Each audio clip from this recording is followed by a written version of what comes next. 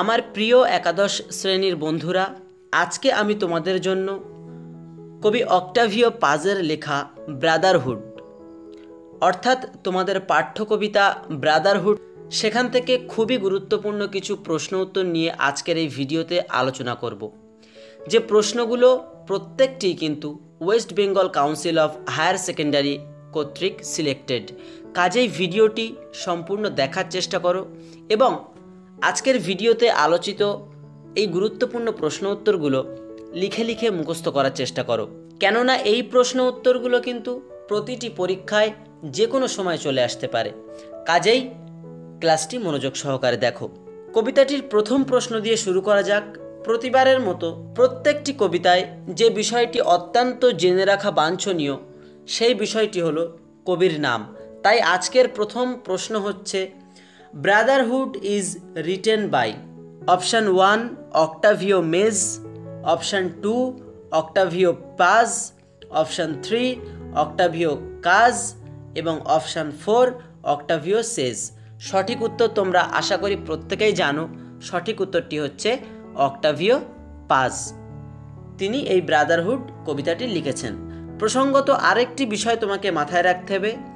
Octavio পাজ তিনি ছিলেন একজন মেক্সিকান রাইটার, মনে রেখে দেবে। যখন তুমি বড় প্রশ্ন লিখবে এই ব্রাদারহুড সম্পর্কে, তখন যদি তুমি উল্লেখ করে দাও তোমার লেখনির মধ্যে যে অক্টাভিও পাজ তিনি একজন মেক্সিকান রাইটার ছিলেন, পাশাপাশি এই যে কবিতা ব্রাদারহুড, এটি সর্বপ্রথম স্প্যানিশ ভাষায় লেখা হয়েছিল, তাহলে শিক্ষক তোমার লেখনির মধ্য দিয়ে অনেকটাই তথ্য সমৃদ্ধ আনসার পাবে। কাজেই তোমার লেখনির মানটা অনেকটাই উৎকৃষ্ট মানের হবে। তাই এই বিষয়গুলোকে খেয়াল রাখবে। তাহলে প্রথম প্রশ্ন আমরা জানলাম, দ্বিতীয় প্রশ্নে চলে আসব। On what note does Paz begins the poem অর্থাৎ অক্টাভিও পাজ কোন নোটে এই কবিতাটি শুরু করেছিল? অর্থাৎ কবি তার কবিতাটা কোন টোন, অর্থাৎ কেমন মনোভাব দিয়ে শুরু করেছিল? প্রথম অপশান হচ্ছে প্যাসিমিজম দ্বিতীয় অপশান হেল্পলেসনেস তৃতীয় অপশান ডোমিনেন্স এবং চার নম্বর অপশান মডেস্টি সঠিক উত্তর হচ্ছে প্যাসিমিজম অর্থাৎ নৈরাস্যবাদ এবার প্রশ্ন আসতে পারে এই নৈরাস্যবাদটা কি?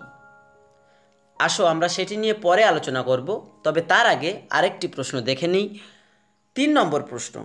The poet Octavio Paz ended his poem in the note of অর্থাৎ আমরা জানতে পারলাম কবি তার কবিতাটি শুরু করেছিল নৈরাশ্যবাদ অর্থাৎ প্যাসিমিজমের ভয়েস দিয়ে এবং কবি তার কবিতাটি শেষ করছে অপটিমিজম অর্থাৎ আশাবাদী হয়ে।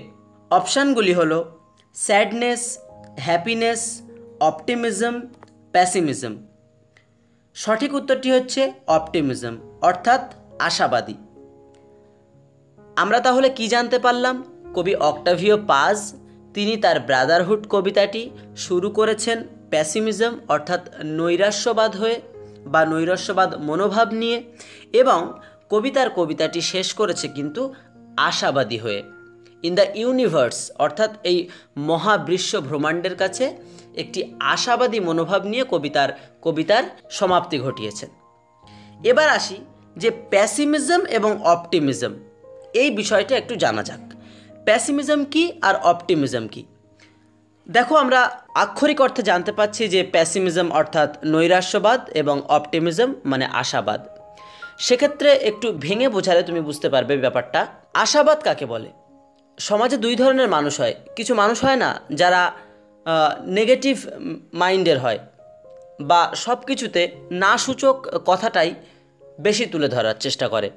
আবার কিছু ধরনের মানুষ হয়, দেখবে তারা সব কিছুর মধ্যেই পজিটিভ দিক খুঁজে বার করার চেষ্টা করে। ধরে নাও, একটি গ্লাসের অর্ধেক ভর্তি জল আছে। অর্থাৎ কি? অর্ধেক খালি আছে এবং বাকি অর্ধেক ভর্তি আছে জল দ্বারা। সেক্ষেত্রে একজন প্যাসিমিজম বা নৈরস্যবাদী মানুষ সেক্ষেত্রে ওই গ্লাসটিকে দেখে সে বলবে যে, গ্লাসটি অর্ধেক খালি আছে। মানে সে কিন্তু খালির দিকটা আগে দেখবে।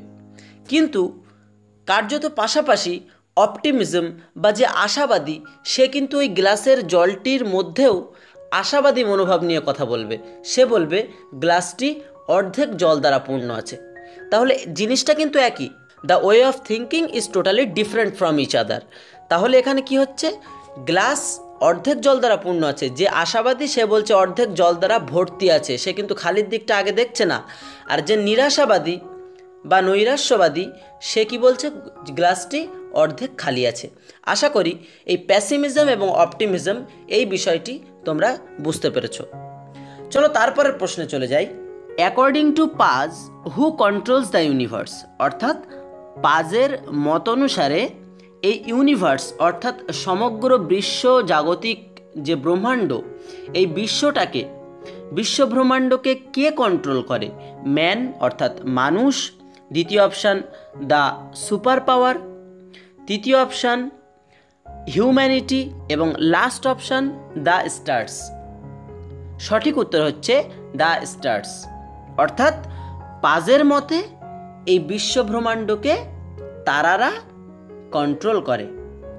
পাঁচ নম্বর প্রশ্ন the poet of brotherhood is এটিও তোমাদের জন্য প্রত্যেকটি প্রশ্নই কিন্তু খুবই গুরুত্বপূর্ণ। এ প্রশ্নটিও West Bengal Council of Higher Secondary এডুকেশনে দু হাজার ষোলো সালে এসেছিল। তো প্রত্যেকটি কিন্তু স্যাম্পল কোশ্চেন কাজেই ভিডিওটি মনোযোগ সহকারে দেখার চেষ্টা করো এবং যে প্রশ্নগুলো আজকের এই ভিডিওতে আলোচনা করা হচ্ছে, সেই প্রশ্নগুলো তোমরা খাতায় লিখে লিখে মুখস্থ করার চেষ্টা করো।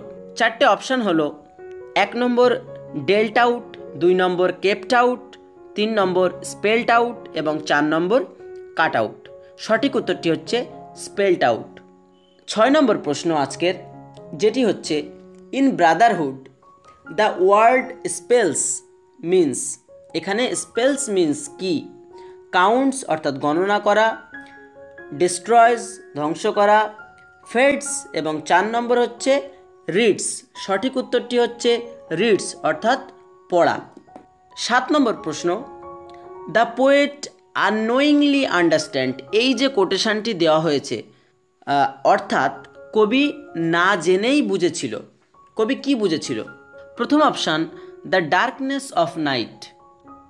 দ্বিতীয় option, the meaning of death. তিন নম্বর option, the writing of stars. এবং চার নম্বর option the blessing of God. সঠিক উত্তর, the writing of the stars. অর্থাৎ, কবি কি বুঝতে পারেন? কবি বুঝতে পারেন যে তার ভাগ্য পূর্ব নির্ধারিত অর্থাৎ তারাদের দ্বারা লিখিত বা প্রি ডিটারমাইন্ড পূর্ব নির্ধারিত তাই কবি অজান্তেই বুঝেছিলেন যে এই যে মানব সমাজ, এই যে মানুষ আমরা প্রত্যেকেই আমাদের ভাগ্য কবির মতে তারাদের দ্বারা লিখিত বা প্রি ডিটারমাইন্ড পূর্ব নির্ধারিত। তারপরের প্রশ্ন, অর্থাৎ আজকের শেষ প্রশ্ন unknowingly the poet understand the এক নম্বর হচ্ছে meaning of life majesty of universe তিন নম্বর হচ্ছে থিওরি অফ টলেমি এবং চার নম্বর অপশান হচ্ছে মেসেজ অফ স্টার্স সঠিক উত্তর হচ্ছে মেসেজ অফ স্টার্স। তো এই ছিল আজকের গুরুত্বপূর্ণ প্রশ্ন উত্তরগুলি। তুমি যদি এখনও ব্রাদারহুড কবিতাটির ডিপ অ্যানালাইসিস বেঙ্গলি যে অ্যানালাইসিস রয়েছে, সেটি যদি এখনও পর্যন্ত না দেখে থাকো, তাহলে তুমি চলে যাও ডেসক্রিপশান বক্সে সেখানে আমি তোমাদের জন্য প্রত্যেকটি কবিতা, অর্থাৎ আমাদের এই চ্যানেলে তোমার ক্লাস ইলেভেনের জন্য প্রত্যেকটি পাঠ্য কবিতা সম্পর্কে তোমাদের অভিপসা ম্যাম ক্লাস নিয়ে রেখেছেন। সেখান থেকে সম্পূর্ণ লাইন ধরে ধরে বেঙ্গলি অ্যানালিসিস করা আছে। সেই ভিডিওগুলো সম্পূর্ণ দেখো এবং প্রত্যেকটি ভিডিওর পাশাপাশি তোমরা কোশ্চেন অ্যান্সার যে প্রশ্নগুলো কিন্তু West Bengal Council of Higher Secondary দ্বারা সিলেক্টেড কোশ্চেন সেই সমস্ত কোশ্চেনগুলো নিয়ে আমি তোমাদের জন্য পাশাপাশি একটি কোশ্চেন অ্যান্সারের সিরিজ স্টার্ট করে দিয়েছি। তো সেজন্যই অবশ্যই চ্যানেলের ডেসক্রিপশন বক্স ফলো করো এবং তোমার প্রত্যেকটি কবিতা সম্পর্কে মনজ্ঞ আলোচনা করে রেখেছি, সেগুলো দেখো। আশা করি আজকের ভিডিওটিও ভালো লেগেছে। যদি ভালো লেগে থাকে তাহলে অতি অবশ্যই একটি লাইক করে দেবে।